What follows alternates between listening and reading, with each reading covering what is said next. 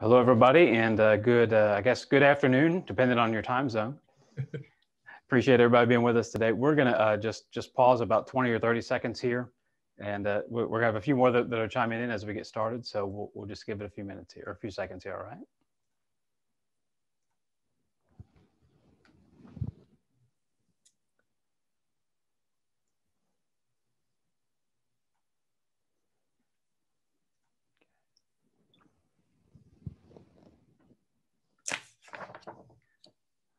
We'll likely have a few more join us as we get started, but uh, just for the, for the sake of time and, and to give Shana uh, the, enough time to really talk with everybody, I, I want to go and get us started.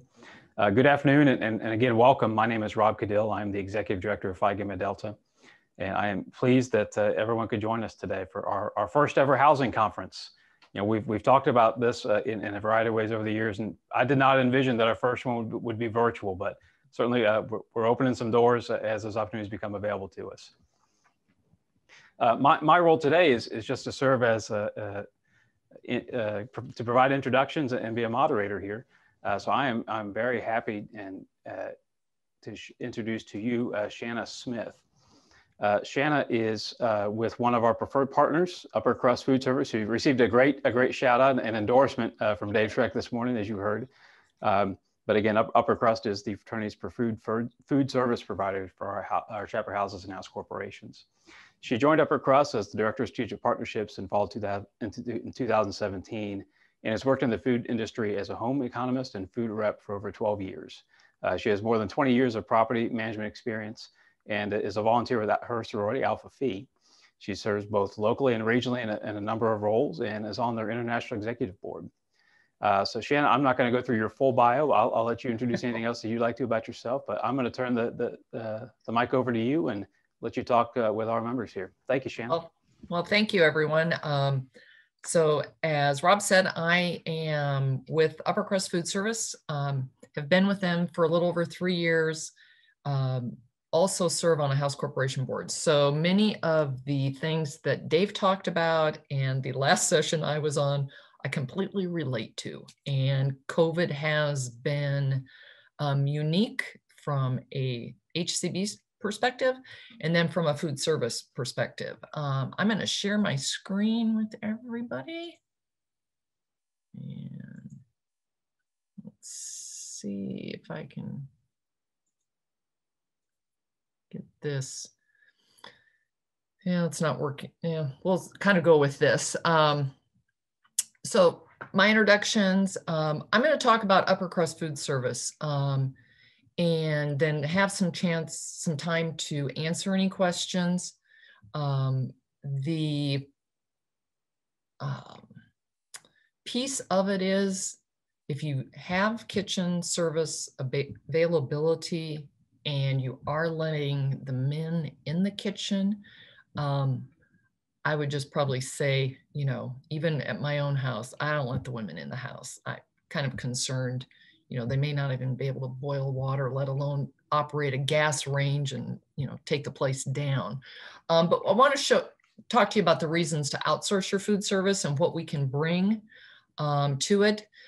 The other part of this is these are great things if you're operating the kitchen yourself and you have your own employees, kind of showing some things maybe that you can um, utilize going forward. You know, First thing, has any of this ever happened to you? Chef doesn't show up, um, food purchasing is not within the budget that you have set. Um, the men are starting to complain about the food. In worst case, you get calls from the parents, um, the hovering airplane folks. Um, kitchen isn't as clean as you would like. Your chef doesn't know how to deal with allergies. Men, men are coming to you saying, I want out of the meal plan. Um, I'm not eating there anymore. Um, making sure your workers' comp payroll taxes are being filed on time. We see this a lot, especially if there's no House Corporation Board involved and we're dealing with the chapter themselves. And they were like, we have to pay what? And we're like, oh boy, this, this is gonna come up. Um, or there's just no time to oversee the kitchen. Um, and so what we wanna do is kind of give you the 10 things of where a food service company can come into play. Um, on staff liability, um, you have a trained chef present at every meal. Um, we can hire your chef. So if you have a current chef and you're thinking, I just want out of the day to day, we don't want to have to worry about the budget. A lot of times we can come in and hire the chef. They come onto our payroll. Um, they get our benefits. We absorb them into our plan. Um, I like to preface that is um, sometimes it's a the chef maybe has problems planning menus, um, doesn't have the training they, they need. We can provide that. And then there's also that option that sometimes they just don't work out. So I tell everybody that says we'd like you to hire our chef is we're happy to do that. There is just a model we work under. And if they don't want to work under that, we have the ability now as their employer to um, make a change.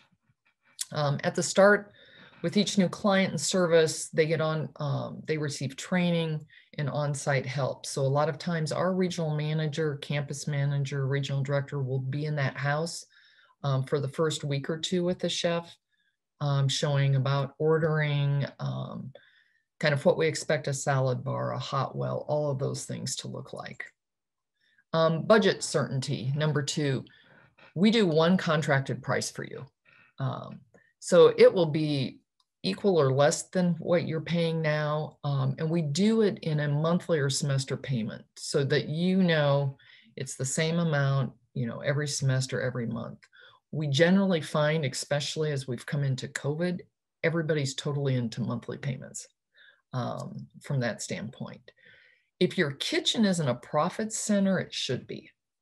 Um, even using a food service company, because you know what your contracted price is, your kitchen can um, become a profit center.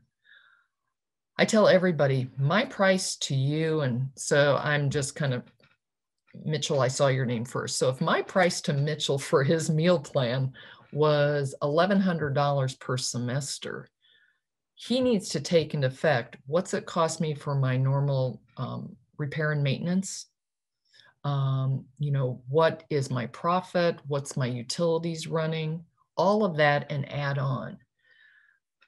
Like um, my last session i was on with renovations they talked about your uh, rent being about 90% of what your the dorm rent is. Your food plan should be a you know about 90% of what the dorm meal plan is.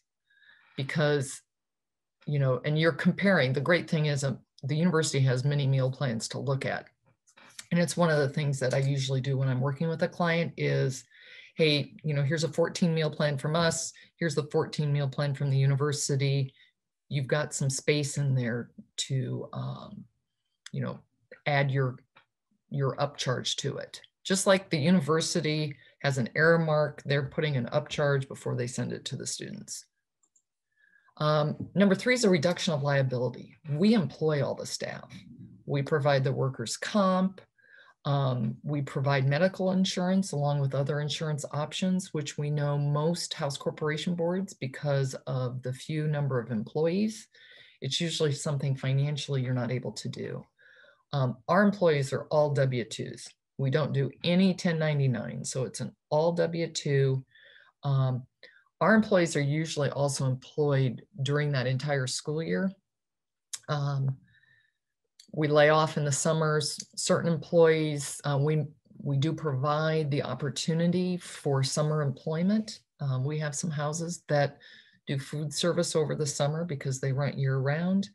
Um, We've also found that the summer camp world is a great place for um, our employees to work over the summer. And so we do do some summer camps. So we have that ability if they want to work.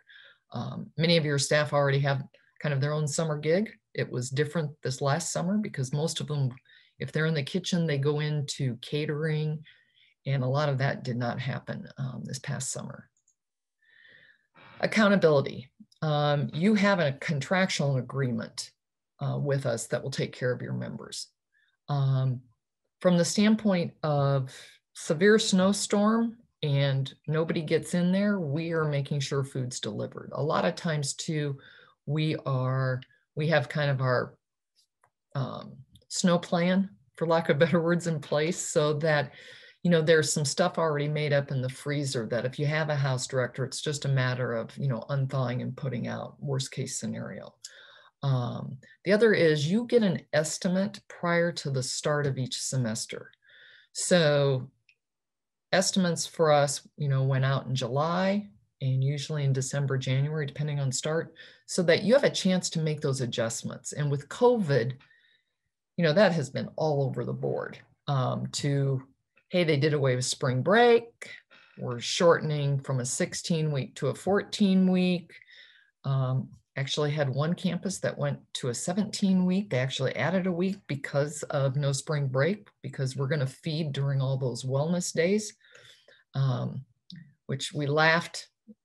I laughed with the House Corporation Board president when he called me about that. Two of them were on a Friday, and I went, so they really kind of think they're not going to leave for a three day weekend. But um, so we give you that chance to say, hey, there's going to be X amount of people living in um, on the, this meal plan. The live outs are going to be on this meal plan.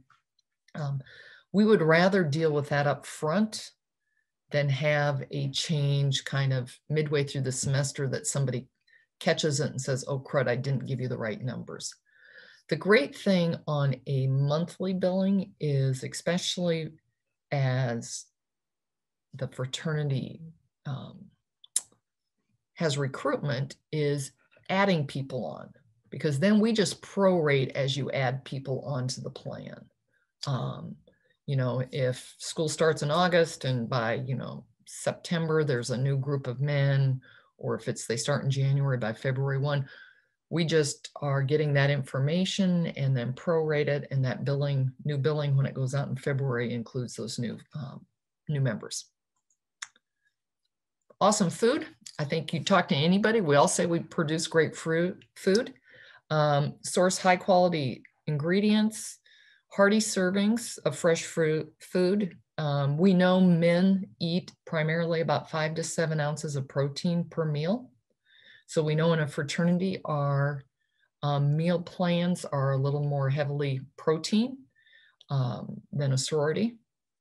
Variety um, is key um, usually with a new start, um, I send out a food survey because we really want to know what they want to eat. We don't want to put, I always use this one, you know, pickled beets on the salad bar, knowing that is like one of the lowest ranked things that anybody puts when they get the food survey. But, you know, uh, cinnamon toast cereal is one of the top two across the country.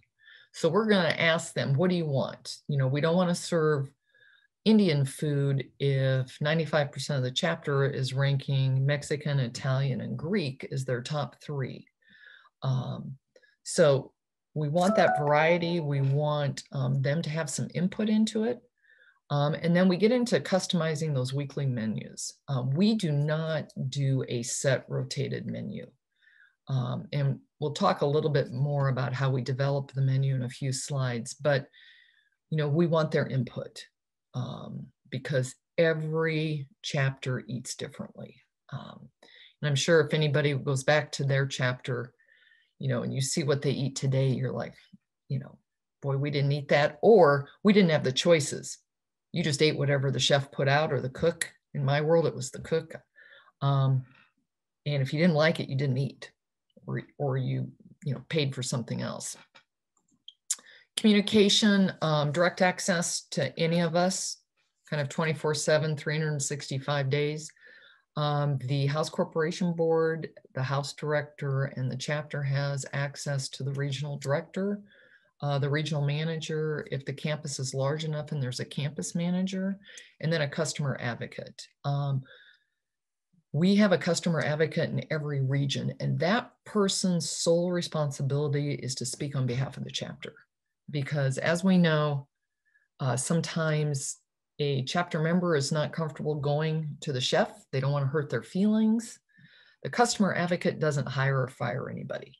So they they used to meet in person. It's been happening via Zoom and you know gives them a chance to talk um, talk about what's working, what's not. Um, some of those meetings are five, ten minutes, some of them are half an hour, some they incorporate into a food committee, really kind of works with whatever the chapter wants to do um, on, on those food committee meetings. And then number seven is technology. Um, we know they're on their phone all the time. Um, so we have an app that we use that we developed, did not use widgets. So it gives us the ability to make any changes that we want. Um, the chapters can rate meals on a five-star system. And so we'll kind of talk a little bit about that. So they download the app in Google Play or the App Store. Um, they get a code and um, I'm using, you know, we're at, we serve the Miami of Ohio house. So this is their code, Miami Fiji.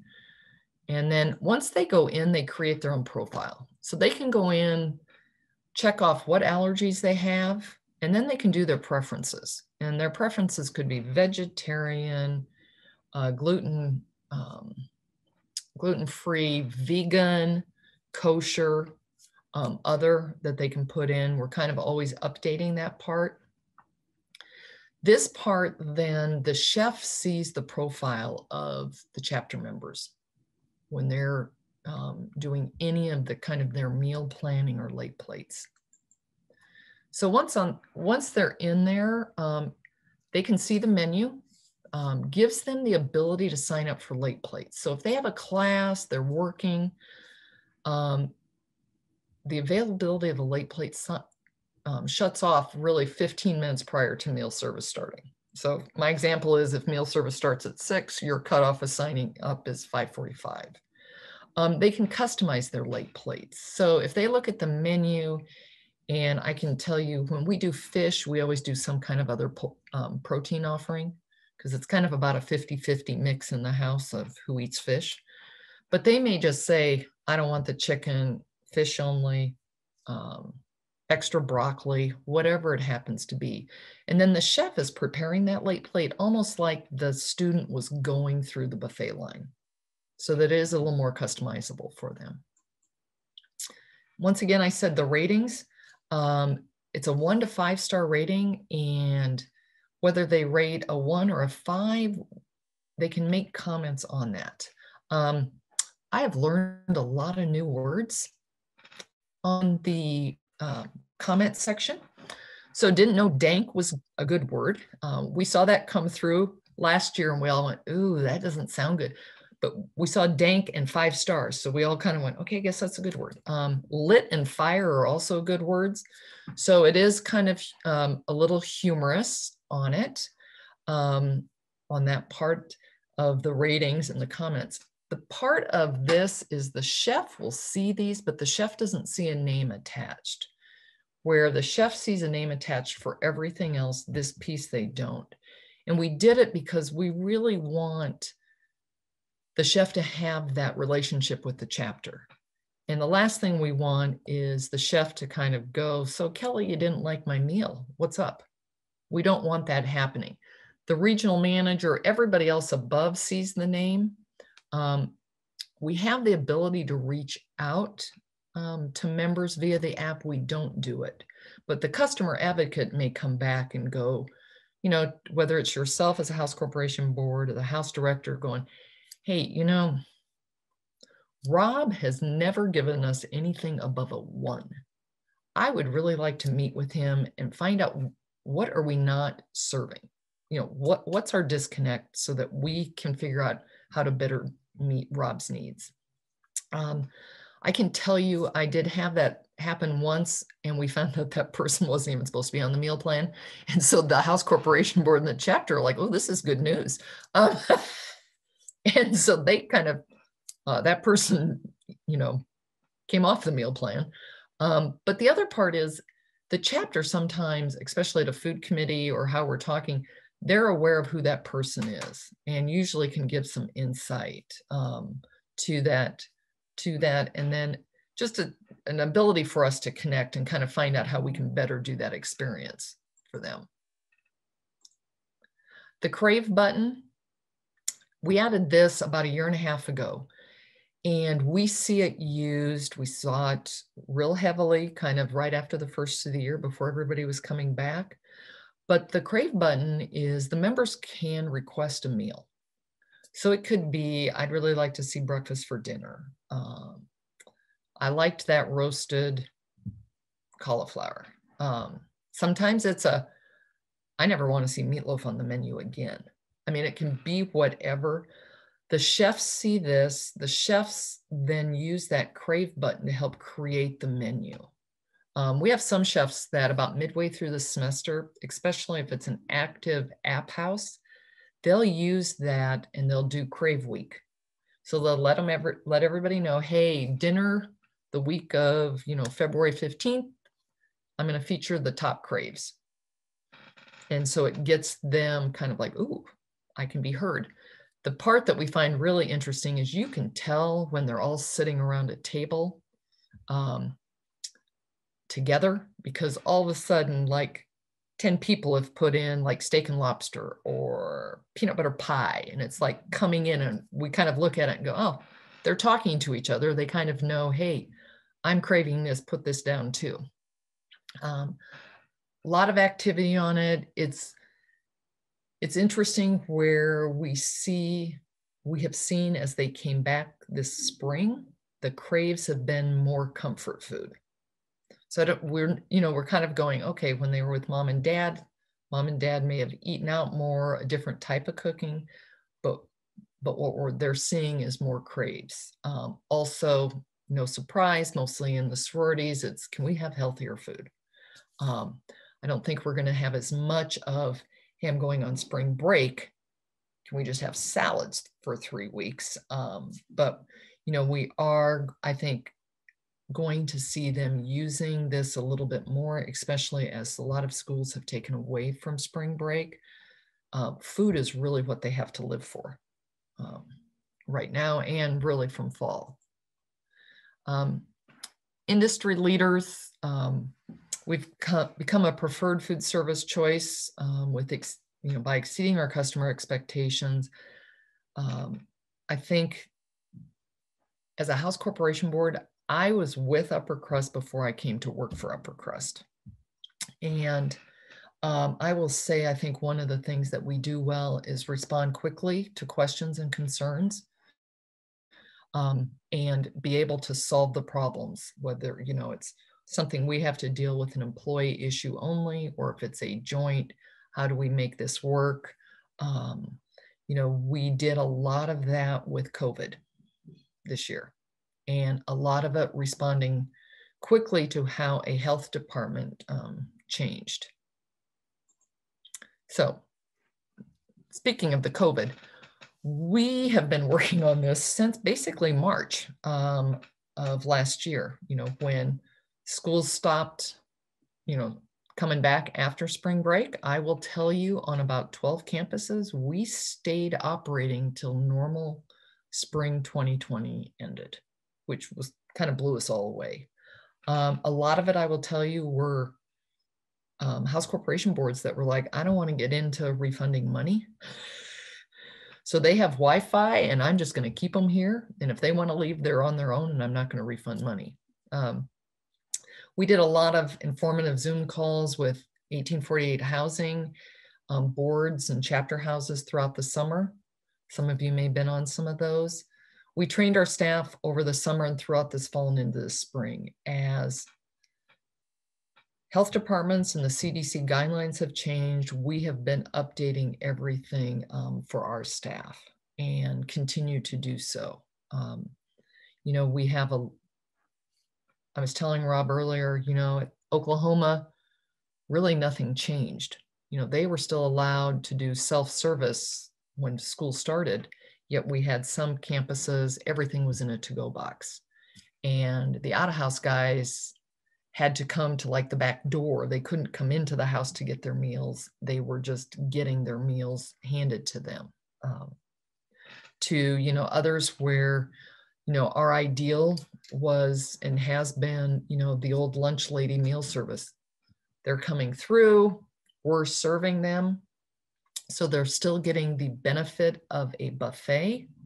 Um, yet are, um, you know, not touching all the utensils. And so I think this, you know, we're going to see a lot of, you know, gloves were always required from us in the kitchen.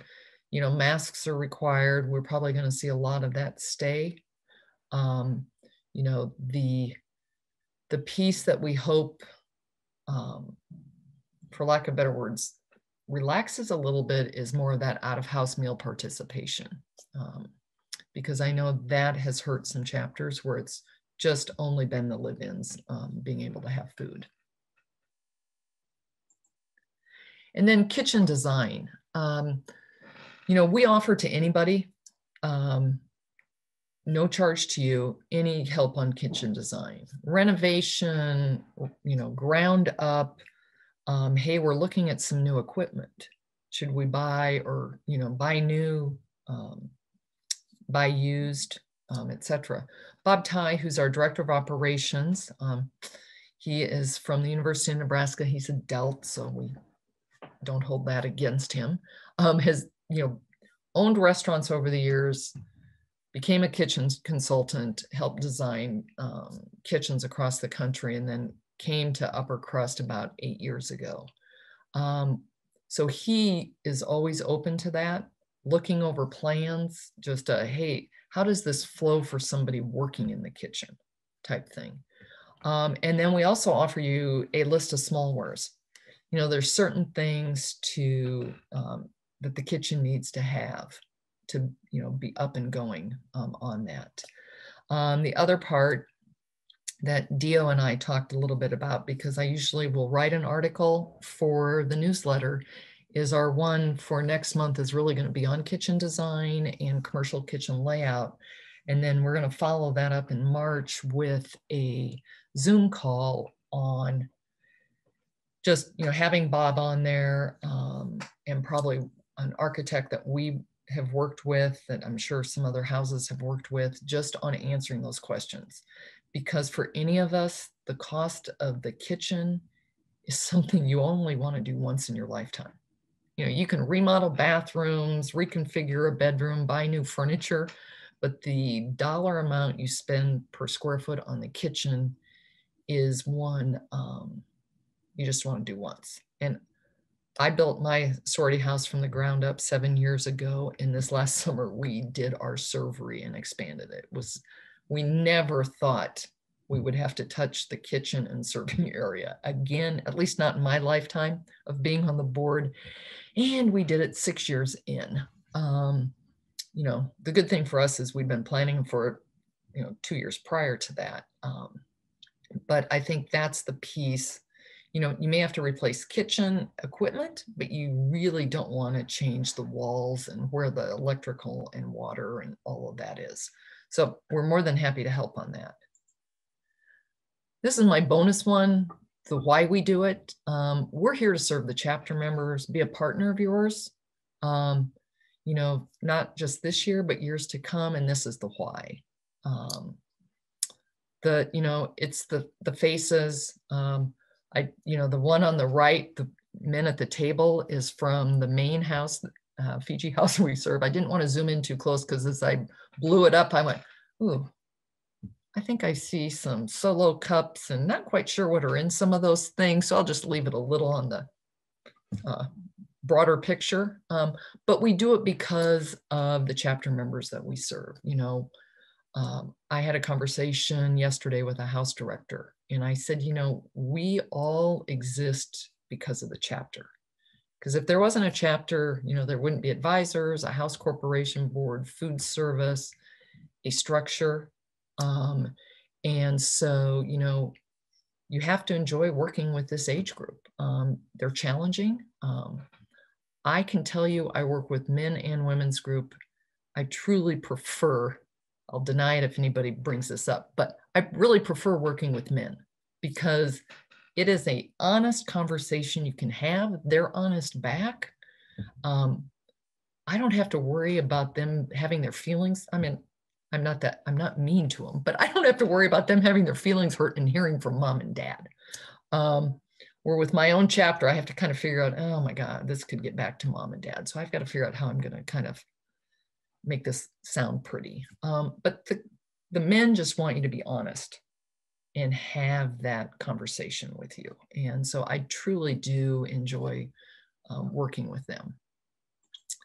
You know, your responsibilities as a house corporation board from a food service standpoint is to provide a functioning kitchen and the smallwares to operate within. Um, there have been many houses that we've walked into and stuff's not working um, or you know they have like two pans and a spatula. Um, like i said before we can help with those things. Um, the other part is the regular maintenance of your kitchen equipment. Um, and that includes the repairs the annual semi-annual inspections. Those are all those things that you need to add on to your meal service rate that you're going to pass along to the chapter members. Um, and I will give a plug just from a property management company. I know CSL is doing some sessions, but if you don't want to be part of that regular maintenance, the repairs, the inspections, a property management company can help with that. Um, I use one for mine. Um, and, you know, none of us want the call, you know, hey, the toilet's plugged or, you know, the kitchen sinks are backing up, um, you know, due to some sewer issue. Um, property management can help with that. Um, so, you know, the other piece is your kitchen operates almost like a small restaurant within a fraternity house. And so when you go with a food service company, you're basically saying, you run the restaurant and we will take care of the kind of the dining room out um, and the chapter piece and you know all of the the property management and that whole functioning piece of it. Um, but we will take care of everything basically from the servery back into the kitchen, making sure it's cleaned, um, you know, all of those pieces that come into it. We just don't do repair and maintenance, um, you know, on, on the kitchen equipment. I will tell you a lot of our staff can troubleshoot some stuff prior so that it could just be a, hey, this is, you know, a bad, you know, um, temperature gauge or whatever it happens to be, or it's missing some leveling feet. And it's why, you know, the cakes always look like this versus straight, um, some kind of simple stuff. Um, want to be able to answer your questions. I have a couple resources. Um, one is our regular website, and then the other is the COVID. So if you want all of our COVID information, you, you have to basically copy and paste that because if you go to our site and look for COVID, you will not find it. We kind of have it hidden on the back side. Um, but then my email's there and my phone number, and people are welcome to contact me anytime. Um, like I said, I'm I've been asked to talk as food service and then asked to kind of flip my house corporation board hat on, um, which I can, you know, I've done a few times. Um, and I know everybody operates very differently um, with this. And I'm going to stop sharing my screen so we can kind of see each other again.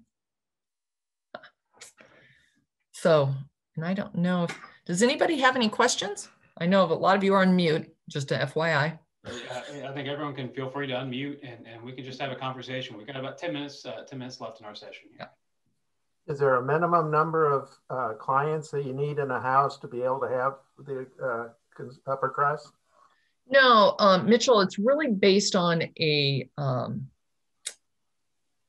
we have a set semester um, minimum from a contract price. So it, for us, you know, it's usually about $40,000 a semester because a majority of that is staffing, you know, the wages. So, you know, if you've got 20 people, then, you know, they're paying a little bit more. That's kind of one of the reasons we always say getting some out of house is really good on the meal plan. Um, I will tell you this year with COVID, we've all had to be creative because the in-house numbers have been different and some been restricted by the university so, um, but we have, um, you know, kind of a variety, yeah. you know, from about 25, you know, on up. So it's all about us being able to pay the chef's wages. Um, I work with a house directly and they were like, well, there's only 75% of us are allowed to be back in. And I said, you would not go to work for 75% of the wages, still doing the full amount of hours just because fewer people could come into the restaurant. And you could see the wheels kind of turn and they were like, oh, I guess you're right. And I said, I can save on food costs and our profit, but I can't on the wages. And we have to be competitive on wages. So Kelly, you had a question? Um, I do. I have several, but stop me if I'm asking you too much. Okay. Do you have any existing chefs that have gone through your program and maintained their job in the interim? Interim from meaning COVID? From being no, from being um, uh, contracted. I'm well, yeah, yeah. So a lot of ours come back. You know, they get laid off in the summer and they come back in the fall. And so we've had some people that have been with the company eight, nine years. Um, the great part is it gives the ability, the way our company is structured, for movement up. So if a chef is in a house and does well and wants to be able to grow, there is that opportunity for them to go to his campus manager. Some regions have a traveling chef, kind of doing that part of it. Um, okay, but say we wanted to keep our existing chef. Oh, Yes. He would have to go through your program in order to become an employee. Yeah. And our program is really kind of like talking with the chef. Right. That's what I figured. Yeah. Okay. yeah. Right. There's really, you know, and then the biggest part is here's how we operate and here's how we buy and this is what we do. Gotcha. Okay. So. Um, so you already know he's got training if he is a certified chef and all of that stuff. Mm-hmm. Okay. Mm-hmm. Uh, what do you do for special events when COVID's over and we can have parties again? uh, Parents Weekend, Fiji special events. We just price those per event. Yes. So usually, like, yeah, we'll work with the chapter or the house director on the what's the event, how many is serving, what's your budget. Um, the chefs used to approach it from, well, let me create a let me let me create a budget or a meal plan for you, and you know the menu, and then they would nine times out of ten was I hate to you know, say it was always the fraternity guys. They'd come back and the poor guy doing parents' mm-hmm. weekend going, well, I only have five bucks a person. And the chef's right. giving them a $17 person. Great. And they're like, he's like, oh, well, we need to change. And then the young man or young woman's like, oh, but I really wanted that. And I really like that. So we approach it now. What's your budget and what's your theme and what are you trying to do? Gotcha. Perfect. And kind of work it that way. And a lot of times too, they'll like if the chapter has normally, and I use this example, if they have a Sunday night dinner and they want to do a brunch on Sunday for Parents Weekend, we will then swap and take that credit from dinner and also fold that into that to help them offset some of those off. Uh, is there food available, like prepackaged foods or power bars or something 24 7? Or is everything locked in the kitchen after certain hours? So every house is different. Um, so part of our normal 24 7 snack that is just part of our normal package is always um, whole fruit, peanut butter and jelly, bagels, cream cheese. If there's a place for that to be out. And then we work with the chapter. If they want more, we just can add it on. So a lot of times a chapter will say, you know, we want a extra hundred dollars per person to a snack, and then the chef will just work with them within that budget of what do you want that to be, so they can change it. So we have some that do a basic, and I have one group that spends almost twenty five hundred dollars a week on extra snacks. It's kind of like a 7-Eleven setup. That's kind of but um, but you have to have that place for them to go because we don't want them going into the kitchen and the health departments with covid have gotten really tight on that. Um, and i think my last one is um, so our our house is owned by the university. Mm-hmm. and the chef is contracted. I'm the house mom. I chose to be an employee. And so we we're actually working in separate terribly separate things with a lack of communication between all of us from the school. So part of the equipment in the kitchen is the schools that they're responsible for if I can get them out to fix things. Part of it belongs to the fraternity. And this, this it's a mess now because now since he can't do the buffet, his his buffet is in the kitchen where he serves from. So be, that being said, I guess you all would work with the university as well mm-hmm. to say, hey, this really needs to be updated and this is not a good situation. And is this just the prices that you give us? Do you normally have more than just the chef? Do you have other staff depending on the size of the house or mm-hmm. so that's all yeah. good. Yep. So depending on the size of the house will determine how many people are in there. Um, as Dave said, you know, on Shrek on his, you know, he's they've got some young men that serve. So there are some guys that, you know, are helping on chapter dinner night. Um, you know, in a sorority, you see more for um, kind of aging myself with, but some of you will know is, you know, it used to be houseboys. Sororities had houseboys. That was the way some fraternity men ate is they were a houseboy at a sorority. So we kind of work with whatever the needs are on that. Um, the house director is always a free of charge for us. We never include them in our count um, on that. So, you know, we'll just work. Um, we just started this semester at the University of Central Florida. I've never jumped through so many hoops with the university because those are all university housing. And to get, a, you know, be allowed to do meal service um, on that campus. You know, we had to provide a lot of insurance pieces um, for them. So the other thing, yeah, we've got probably one about one minute left, and we have to jump. Any off. other questions? Yes, Henry. Um, hi, just want to follow up on Mitchell's question. Is there, I know you mentioned $40,000 a semester, but is there an ideal number of uh, men in a house or women in a house that makes the economics much more advantageous for you? Well, from a live-in, it's kind of that 30 to 35, but but we've okay. seen fewer as long as you're bringing the out-of-house people in. That's the piece that helps to um, bring that in-house number lower. So normally you're in-house or getting breakfast, lunch, and dinner, you're out of house. You know, in the ideal world for you to make money on your meal plan, the ideal world is you're out of house or having lunch and dinner because they're, they're never going to get up and come to the house for breakfast. Um, but being able to add them on is a huge benefit. And I'm, you know, when we do a proposal, we can always give you options. Here's just the in-house, here's the out-of-house and how it brings, um, you know, changes those numbers for you. Good, thank you. You're welcome. Shana, thank you. Thank you very much for being with us. And, and all, our, all, of our attendees appreciate you being with us as well. Thank you. Uh, no problem. Our next session begins here uh, promptly at, at 2.30.